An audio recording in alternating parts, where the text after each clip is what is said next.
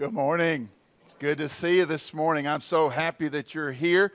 We've got a good group in here today, and we've got a good group over next door. And so, thank the Lord for those that have uh, come out today to worship the Lord. We're here for one reason, and that is to exalt the Lord today. Uh, I have a, a couple things I want to share with you. Then I'm going to read some scripture. First of all, if you're our guest today, we're thrilled that you are here and uh, encourage you to come back and visit with us again.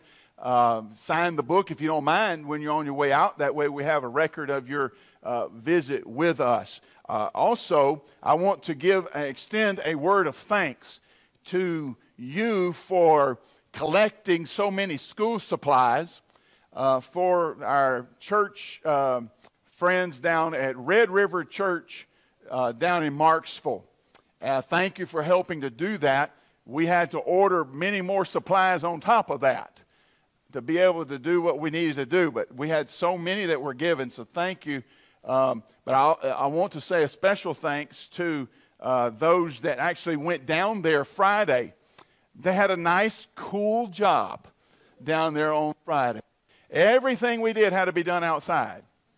And um, so with masking up and gloves and outside, uh, it was quite warm. But I'm grateful to Tim Thomas, Carl Castle, T.K. Smith, Nancy Brooks, Renee Pickens, Sue Denton, James and Martha uh, uh, for going with us down there. And uh, thank you for your hard work and, and a very, very hot day. But they were so appreciative of all of the uh, uh, school supplies. And so thank you. I want to extend that to you and say thank you for that. Okay? Um, remind you that um, I, I, where's, where's Jillian? When did we dismiss Children's Church last time? I keep forgetting now that we got this different schedule. Okay, so right Okay, right before Tracy comes to sing, which I'll let you, I'll know when Tracy comes and I'll, I'll dismiss the children's church. I forgot last time. And we'll dismiss those going to children's church and so forth. All right, so take your Bible and turn to Psalm 46. Psalm 46. We need this passage today. Oh, how we need to remember this. Psalm 46. God is our refuge and strength a very present help in trouble. Therefore, what? What does it say? Therefore, we will not what? We will not fear. There's a lot of fear today. Therefore, because he is our refuge, we will not fear, even though the earth be removed. The earth hadn't been removed yet. Even though the earth be removed, and though the mountains be carried into the midst of the sea, Though the waters roar and be troubled, though the mountains shake with its swelling. Look down to verse 7. The Lord of hosts is with us. The God of Jacob is our refuge. Verse 10. Word for all of us today Be still and know that I am God. So, whatever's going on in your life right now, and all this crazy stuff that's going on in our country, with all the rebellion and anarchy, and all the COVID and all of that, be still and know that I am God. I will be exalted among the nations, I will be exalted in the earth. The Lord of hosts is with us. The God of Jacob is our refuge, and I'll preach later, so I'll stop there. But that's good stuff. So let's pray and then Brother Larry is going to come and lead us. Father, thank you so much for the fact that you are our refuge and you are our strength in these troubled times in which we live. Lord God, we know that we need not fear because you are with us. God, I pray that we won't live in fear, but instead we will live in trust, that we will place our faith and trust in you. Lord, we know that you're in control. We know that this that all of these things that we're seeing, they're leading us right on in to the second return of the Lord Jesus. We've read the book. We know that it's it's stated in the book how things are going to be. Lord, we cling to you. We trust in you. And Lord, we worship you. We adore you today. In Jesus' name we pray. Amen. Pastor said, God is with us. We can't worship Him enough. And that's what we're going to do this morning as we sing. Listen to this. I'm going to sing it one time through, and then I'm going to ask y'all to stand and sing it with us.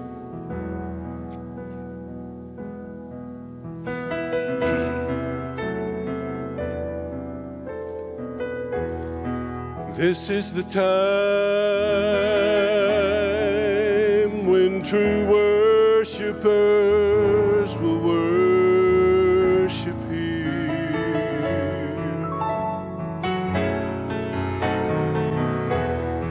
these are the days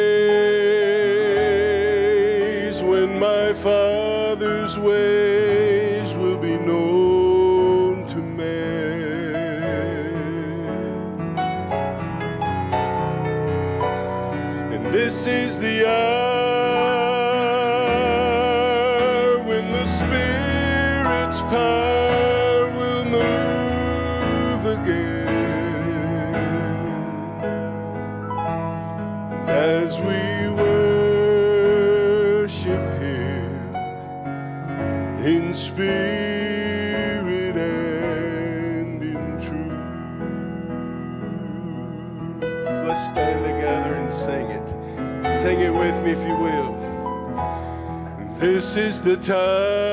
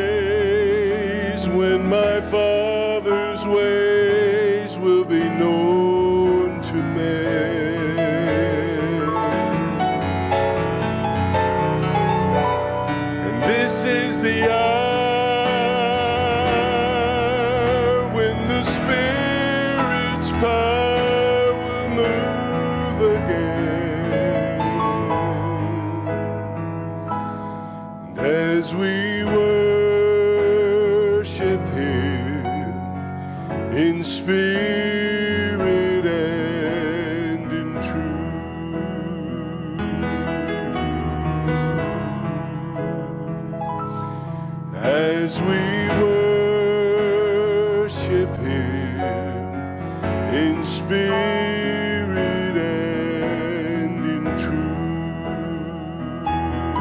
Sing that line again as we worship Him and as we worship Him in spirit and in truth. The Lord is holy. He's holy. Sing it now. Holy, holy, holy,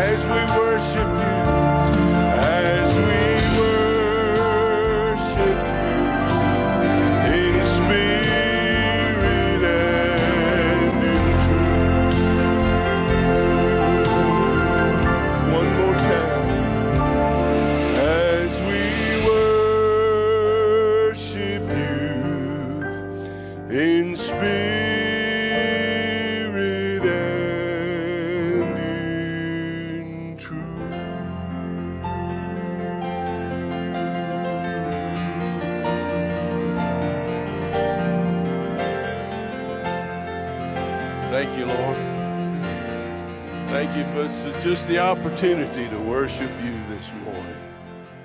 Let's sing together.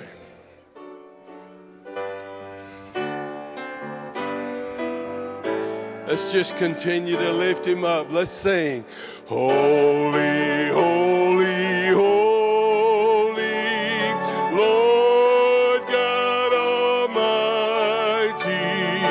Early in the morning, song shall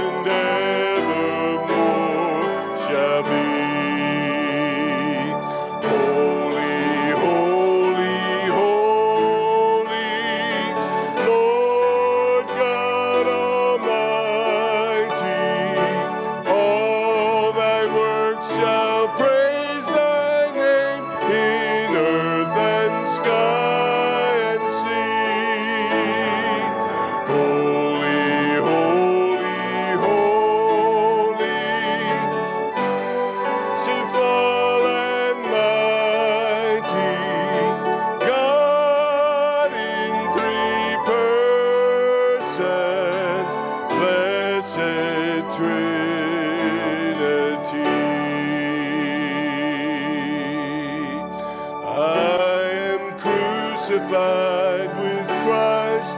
Therefore I no longer live. Jesus Christ now lives in me. I am crucified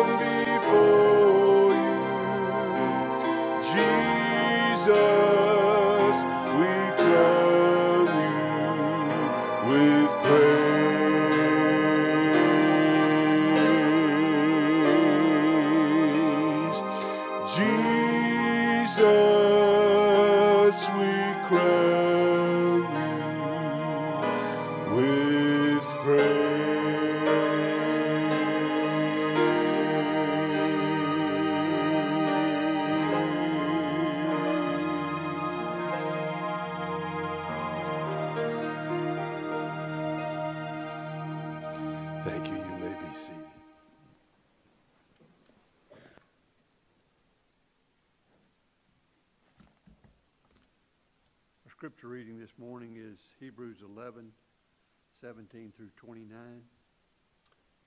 By faith, Abraham, when he was tested, offered up Isaac, and he who had received the promises offered up his only begotten son, of whom it was said, In Isaac your seed shall be called, concluding that God was able to raise him up, even from the dead, from which, which he also received him in a figurative sense.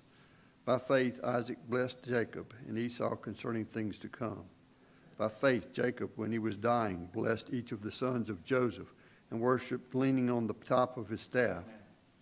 By faith, Joseph, when he was dying, made mention of the departure of the children of Israel and gave instructions concerning his bones. By faith, Moses, when he was born, was hidden three months by his parents because they saw he was a beautiful child and they were not afraid of the king's command. By faith, Moses, when he became of age, refused to be called the son of Pharaoh's daughter, choosing rather to suffer affliction with the people of God than to enjoy the passing of pleasures of sin, esteeming the reproach of Christ greater riches than the treasures in Egypt, for he looked to the reward. By faith, he forsook Egypt, not fearing the wrath of the king, for he endured as seeing him who is invisible. By faith, he kept the Passover and the sprinkling of blood, lest he who destroyed the firstborn should touch them. By faith, they passed through the Red Sea as, they, as, as by dry land, whereas the Egyptians, attempting to do so, were drowned. Please pray with me. Father, we just thank you so much for your word. We thank you for the, the wisdom that you give to us, dear Father. We, we just pray that you'll help us to have, uh, that you'll give us the wisdom to, to see what is right, what is blessed, and, and how we should act as far as, as Christians should act, dear Father. We pray for our country today, dear Father. We're in so need of, of your pouring out of the Holy Spirit upon our country That um, we just ask that you help us as a, as a nation, dear Father. Help us to turn back to you. Father, give each one of us the faith that we need to endure, that we need to continue on in, in your strength and your word. Father, just thank you again for all your many blessings. Uh, forgive us of our sins now. In Jesus' name I pray.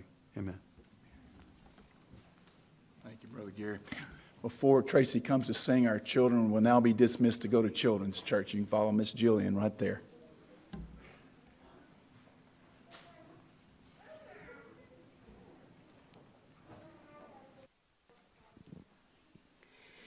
While they're heading out, I was going to mention that um, I'm going to sing one of the hardest hymns in the hymn book in front of you to sing. It doesn't have a tricky rhythm, and it, the notes aren't hard to hit, but the message of it is the greatest challenge, and it's always hard for me to sing it because it's I surrender all. And um, just know I haven't reached that um, in this life because our flesh is weak, but that it is and should be all of our prayer, especially now. All to Jesus I surrender, all to Him I freely give. I will ever love and trust Him in his presence daily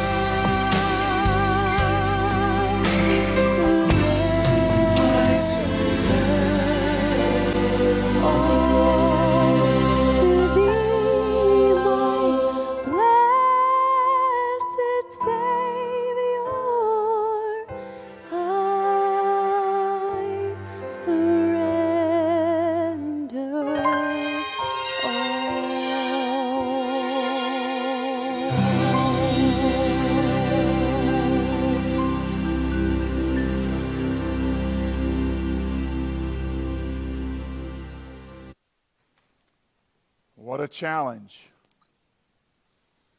that we've just heard. All to Jesus I surrender. Boy, we probably just need to get really honest right here at the beginning, huh?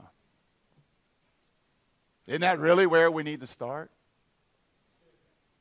What is it in our life that is not surrendered to Jesus? We need to take it to Him at the altar now. You don't have to necessarily come forward, but you have an altar right there where you are before God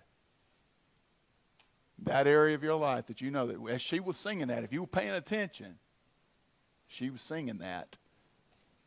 Some things the Holy Spirit would speak to you about need to be dealt with. So let's deal with those things as we as we continue to move forward in our time of worship today.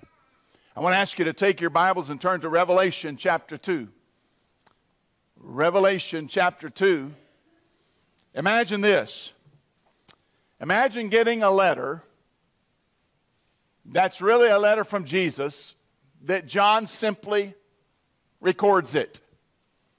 Imagine that Sweetwater Church gets a letter and it's to be read to the church from the Apostle John that Jesus speaks and he says, when he speaks to them, he says, I know that you live in a place where Satan's headquarters exist. That's the word that's going to go to the church at Pergamum.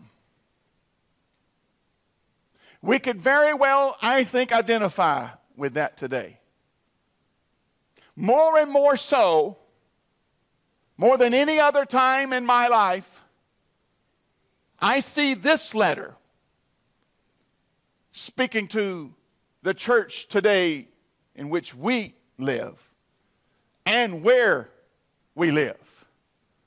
Pergamum became a city that was known as Satan's headquarters.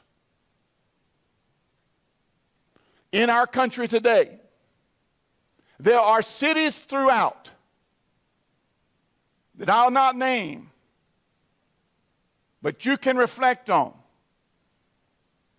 that could very well be called cities of Satan's headquarters. But now we want to think about other places. We want to think about other places in our country and other places in our world. But I want you to know, and I think you know this, and that is that our community is not the same anymore. Our community has changed. Our state has changed. Our churches have changed. It's not what it used to be.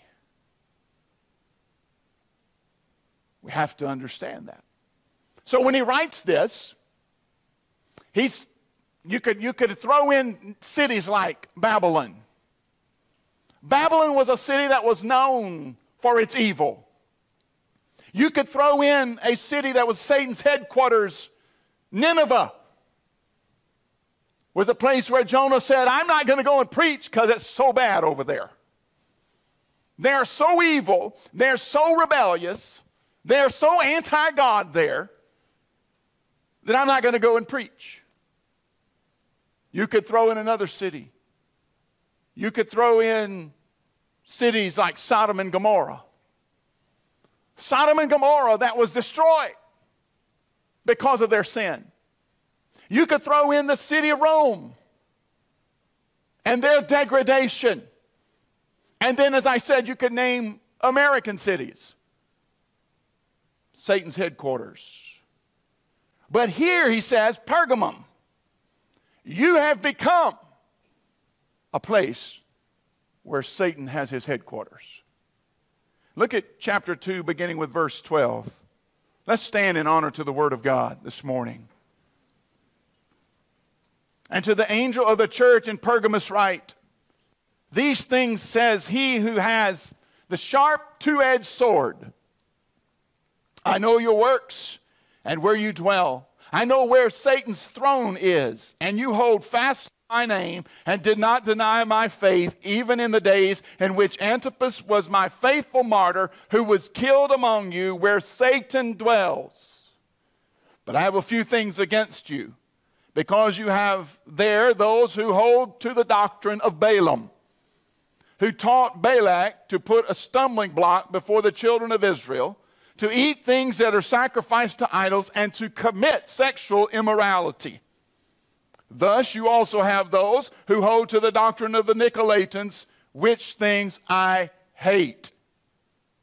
Repent, or else I will come to you quickly and will fight against them with the sword of my mouth. He who has an ear, let him hear what the Spirit says to the churches. To him who overcomes, I will give him some of the hidden manna to eat.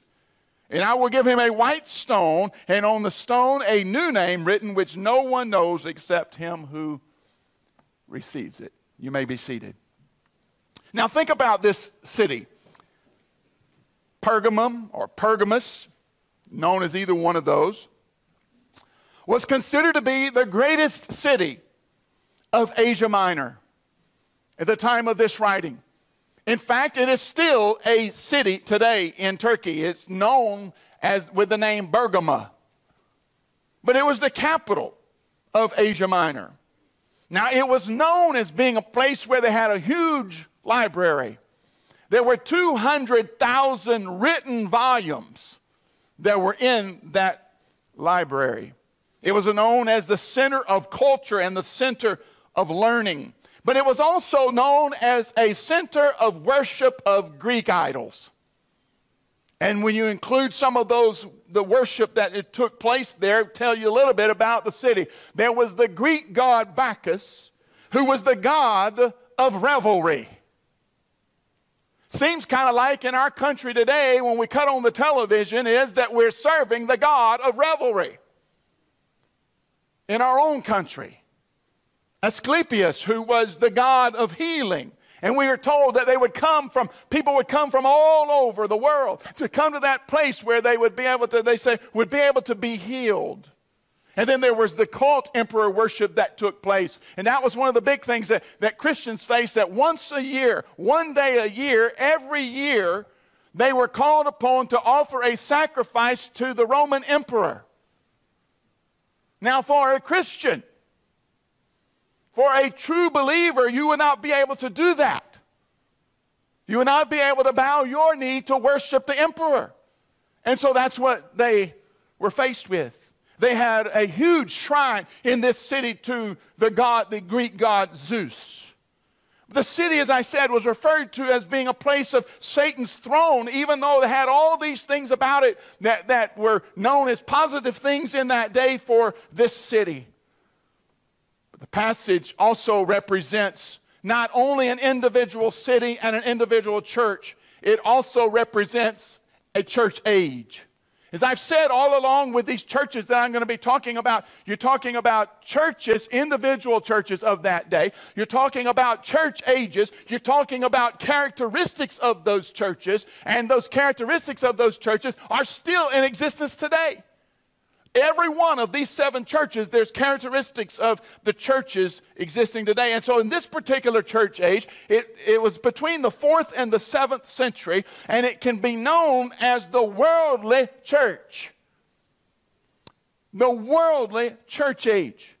Now, what Satan had learned in the previous church, Smyrna, was that persecution was not going to stop the church. He learned that. They grew through persecution. Smyrna exploded in growth through the time of persecution, and so the enemy then decided not, we're not going to go with the route of persecution. Instead, what we want the church to do is to blend in with society. And we also want the church to become tied to the government. And so that would be the tactic that would be used here in this church age. Constantine would become the emperor of Rome during this time. We are told that Constantine converted to Christianity and he issued the Edict of Milan, which basically said that, that now Christianity would be the state religion of the Roman Empire. In fact, some of the things they would do, some have questioned whether or not he was truly converted or not because of the amount of paganism that continued on. But they wrote as many as 50, 50 of the original manuscripts, handwritten, were written during this time. So a, it was a special time when it comes to that.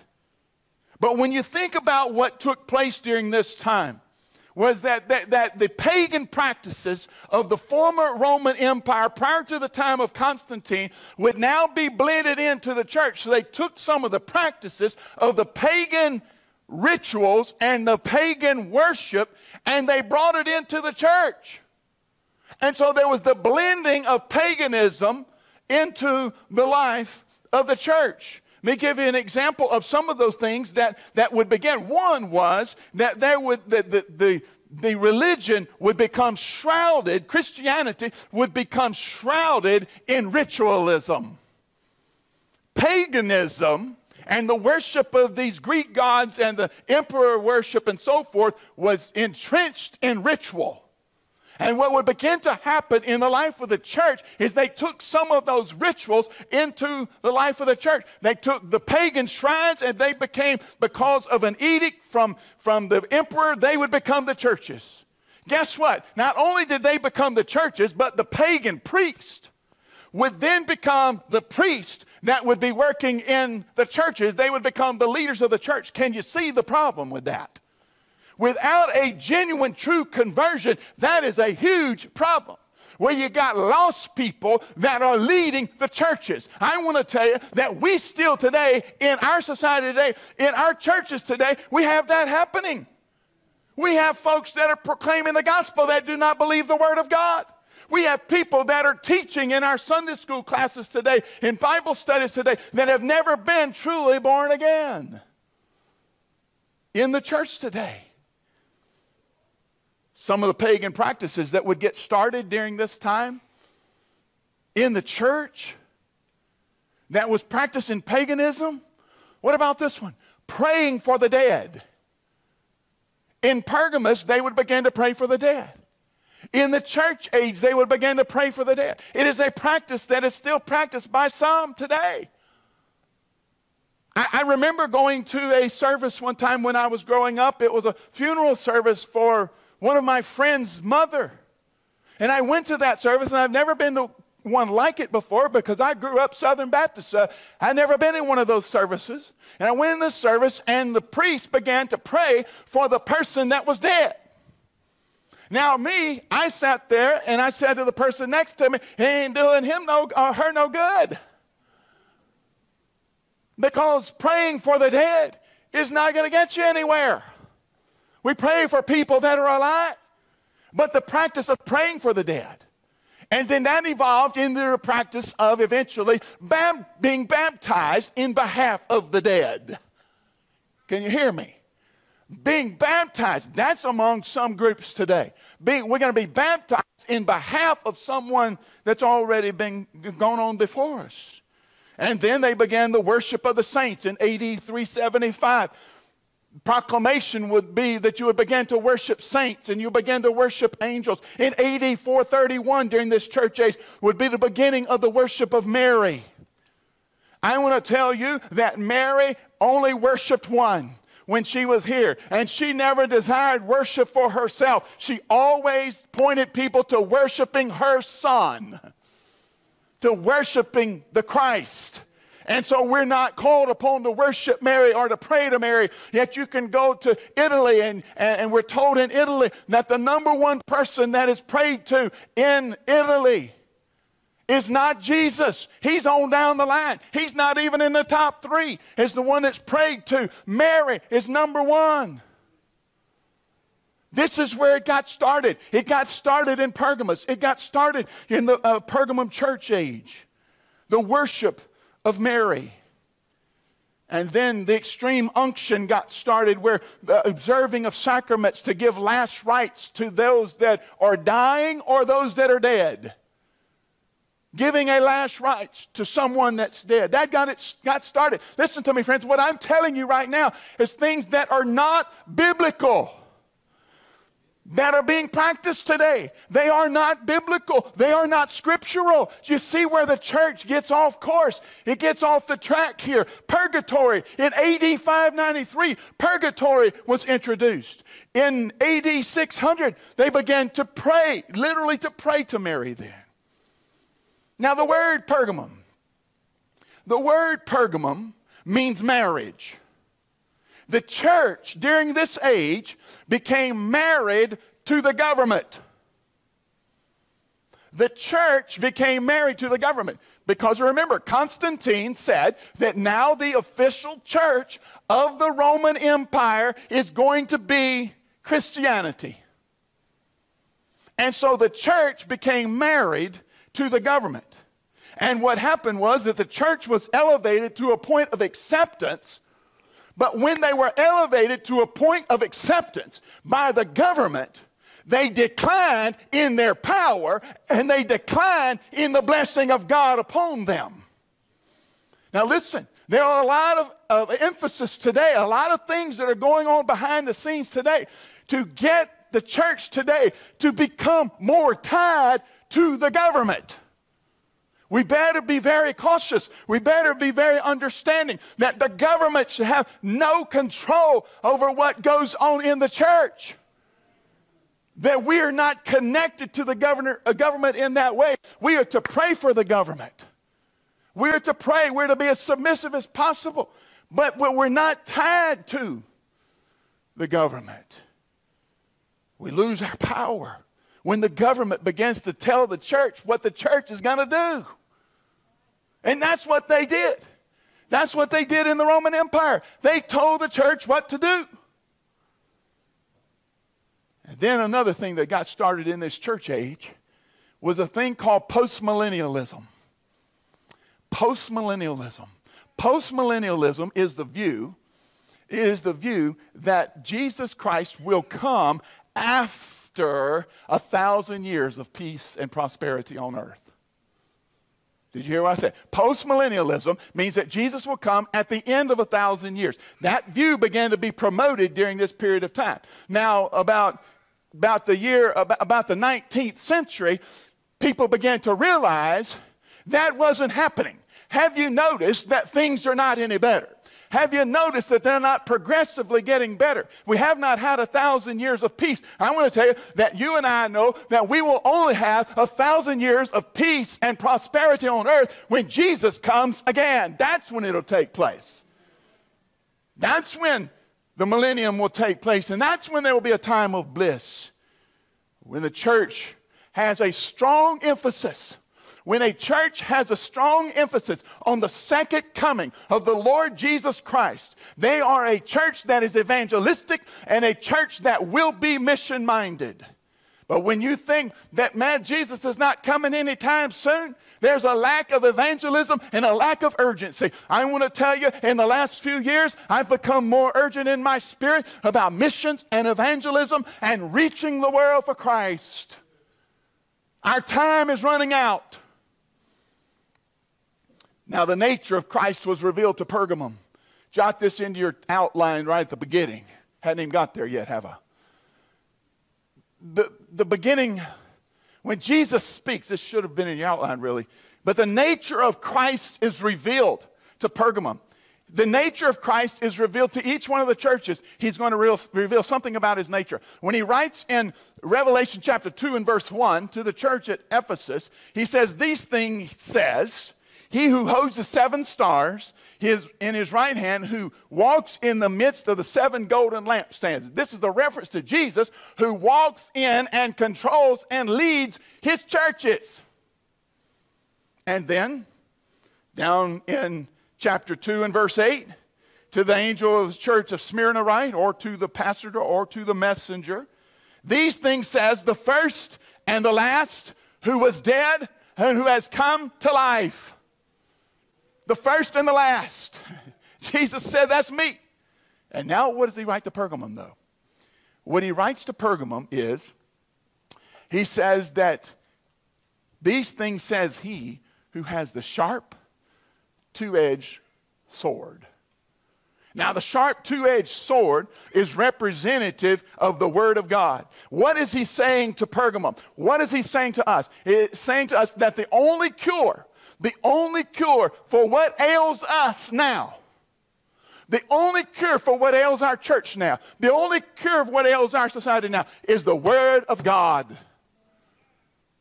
two edged sword. The only cure for Pergamum is the two edged sword. He says, if you would pay attention to this, he says, there will be change, there will be revival. It's a two edged sword. And so, listen, it pictures for us, though, that Jesus Christ is the judge. He's presenting himself to the church at Pergamum as the judge, but he's also presenting himself to the church of Pergamum as the executioner. He is judge. Listen to me, I want to remind you that Jesus Christ is our judge, but Jesus Christ is also the executioner. He's the one that's going to carry out the sentence. And then notice the com- commendation of Jesus. What did he say to them? How did he commend them? He's, it's going to fall into three categories. He says, I know that you live in Satan's headquarters. He's going to commend them. He says, I know things are hard. I know you live in Satan's headquarters. As I said, the headquarters had been at Rome, but now we find it here at, at, at Pergamus. And his approach during the Pergamum church age for, for the, the enemy was indulgence, to indulge the society around them, not persecution. So become a part of society. Just, just we want to become part of the world. I want to tell you, one of the problems in our churches today is our churches are so worldly. One of the problems in our lives individually is that we are so focused on the world. Well, he says, I know you live in Satan's headquarters. But then he says, You are doctrinally pure. And at this point, when he writes, there was more doctrinal purity than what there was as the age went on. There was doctrinal purity, and this is what he says. He says that during this church age, well, actually, he, he doesn't say it here, but what happens in this church age is that there were rituals, their rituals became equal with Scripture. Now, listen, how we do things, the rituals that we carry out, are not equal with Scripture you got some groups today that say that their, that their rituals, their rituals are equal with Scripture. And we know that that's not according to the Word of God. And then what else happened? Another thing that happened during this time is there was something called, jot this down, look at it, Google it, the Arian controversy. There was the Arian controversy. This is one of the things that he commit, they would be commended for. It was the council in Nicaea at AD 325. Arius, here's the point of it Arius denied the deity of Jesus. Do we have a whole host of folks today in our world denying the deity of Jesus? I pointed out. Someone I hope you don't watch on CNN. Donald Lemon. My goodness, the things he says. But then he's denying the deity of Jesus right there on, right there on television. But it's not just him, it's everywhere. But listen, there was a guy in the church, Arius, who denied the personal deity of Jesus. They said that Jesus Christ was the greatest of all created beings, but he was not one with the Father. Now, what does that sound like? That sounds exactly like Jehovah's Witnesses. That's what Jehovah's Witnesses teach. Jesus was a great man, but he was not one with the Father. He was not deity. What was the conclusion of this council? The conclusion of the Arian council in this controversy was this. The conclusion was that Jesus Christ was declared to be very God of very God. In other words, no doubt, listen to me, no doubt the church spoke and said that Jesus Christ is God. And we still stand on that today, that Jesus Christ is God. And then he goes on to tell him, You have not denied my faith. And he gives one example of that. You know, there's a remnant always, there's a remnant in every church. There's a remnant in every church age of those that are faithful. There was a guy by the name of Antipas. Then he says that he gave his life as a martyr. He was faithful in his testimony of his faith with his blood. Tradition tells us that what happened to Antipas and what was happening to some of the others at that time was that, that he was roasted to death inside a brass bull during the persecution by Domitian. Roasted to death. And we think we got it bad. But he was faithful all the way till death. You've not denied my faith. And then what was the condemnation by Christ? Their practical doctrines were evil. They practiced in their church the doctrine of Balaam. Now, I want to remind you of the story of Balaam real quick. Balaam's story is found in Numbers 22 through 25 and, and further. Balaam, he was the guy who was riding the donkey to try to go and curse the Israelites, and the donkey stopped, remember? The donkey stopped and turned around and said, I ain't going no further. Why are you beating me? He gone off the way, gone off. The, you read the story. The donkey spoke. He went off the path. He beat him back in the line. He says, I'm not going any further. Why are you beating me? But Balaam was hired by Balak, who was the king of the Moabites, who hired Balaam to curse the Israelites. Three times he tried to. Three times he tried to curse them. He was a prophet for hire. But then each time it wouldn't work, God stopped it. So this is what he did. He tried to lure, he lured the Jewish men, the Hebrew men, into marrying Moabite women. And that worked. Because they began to intermarry with the Moabites and began to practice all of their immorality. He says here, he says here, listen, that when the cursing wouldn't work, if you can't curse them, if you can't curse, curse them, you corrupt them. And that's what's happening today. Our churches are weak because we're corrupt. We have sin in our lives. As, as, as, she sang a while ago, I surrender all. We have, we're, we're, we're up there and we're singing at full voice, and we know there are things in our life that need to be confessed. We can't be right with God until we repent and turn. This was a picture of the church at Pergamum. They were polluted socially, they were polluted spiritually. They did not remain separated from the world. They mixed with the pagans, and the pagans soon dominated.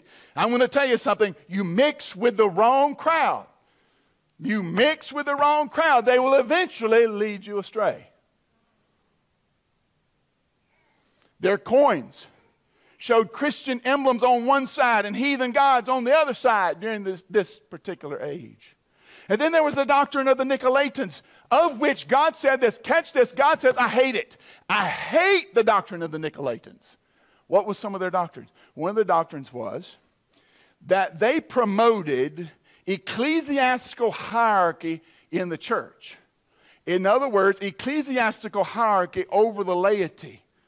This was rejected by the Ephesian church. Go back and read it. They rejected the deeds of the Nicolaitans. That's in other words, say, well, we're going to have a pope, and, and, and we're going to have all this, this leadership trickle down from the top to being over the church, ecclesiastical authorities. Listen, who is the authority? Who's the authority of the church? Who is the head of the church? But they got away from that to ecclesiastical authority, being over the churches, the head is Jesus. The head of the church is not the Pope. The head of the church is not the archbishops and, the, and, and, and so forth that some groups have over the head. And the, and the Bible says here that he hated this doctrine. Where laymen got to the point in this church, a lay people had no voice. The preacher dominated the church. Clergy became more and more separate from the laity.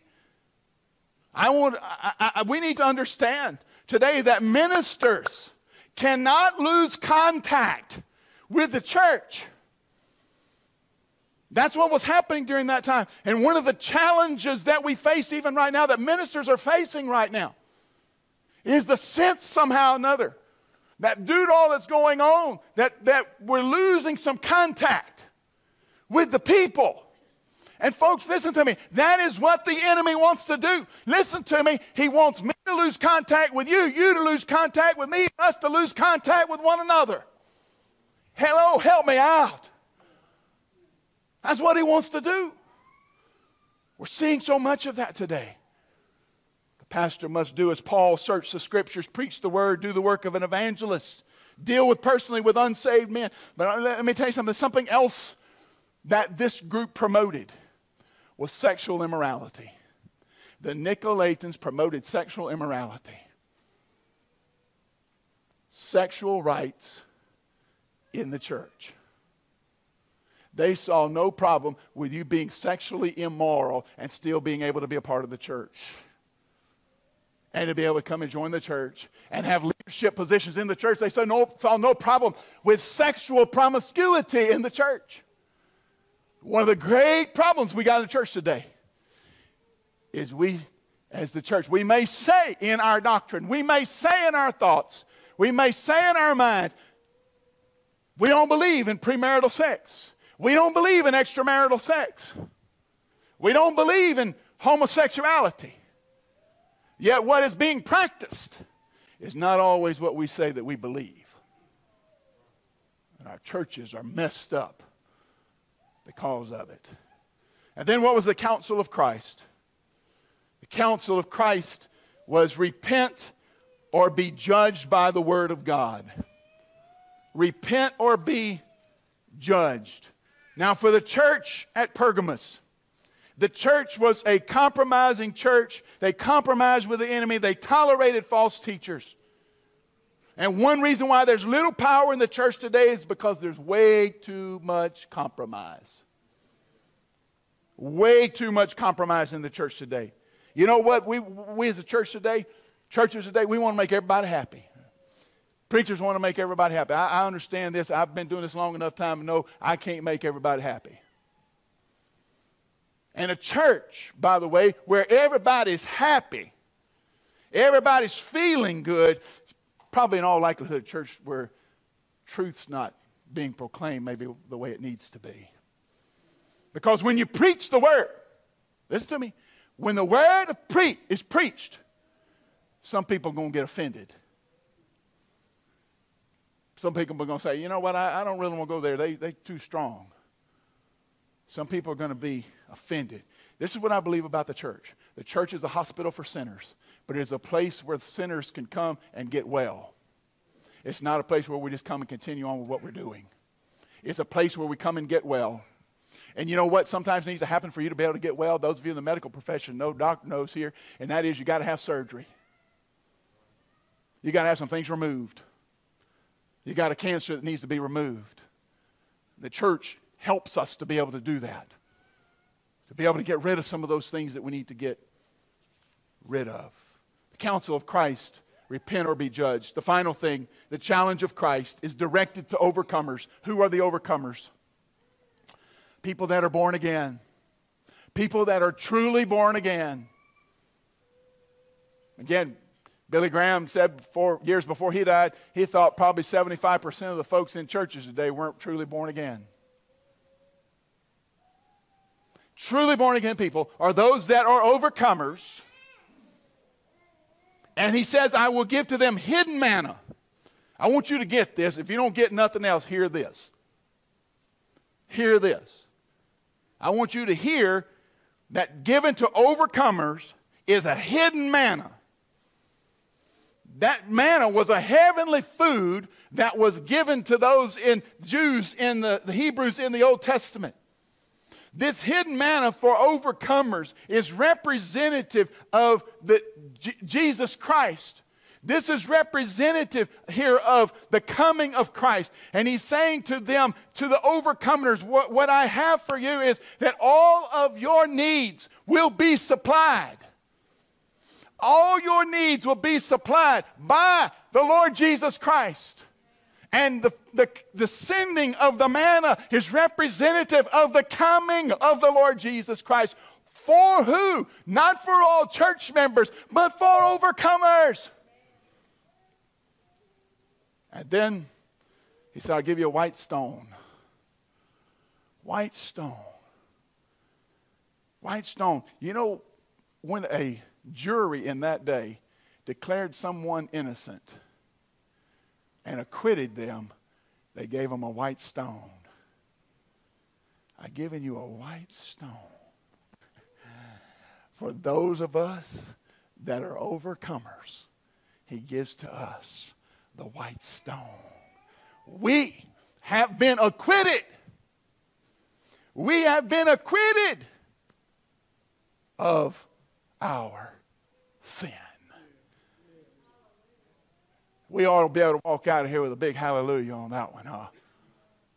We've been given, he said, I give you a white stone. It was also given to athletes when they won a, a, a, an event and they got up on the stand. They were given white stones of victory in Christ.